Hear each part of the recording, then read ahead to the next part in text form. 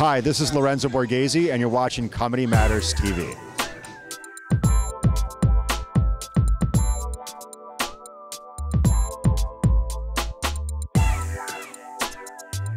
Um, I'm here with Lorenzo Borghese on the Step and Repeat at Sotheby's. How are you? I haven't seen you in a while. Uh, I've been doing very well. It's, it's great to be here. I'm, uh, I feel alive again.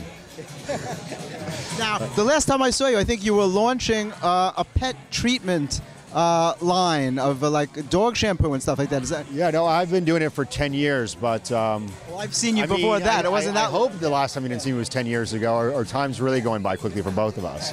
but no, it, that line's going really well. and Royal lot of fun. treatment, right? Yeah, exactly. Great memory. Yeah, I- Very good.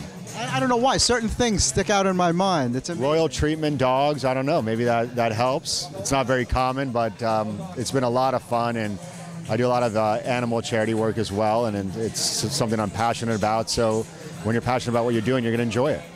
And how did you happen to be here tonight for Ace? Well, this is a, a, a great event. I think helping the homeless in New York and, and in the area is, is something that uh, is extremely important. Uh, obviously, there's a lot of people that aren't as fortunate as we are.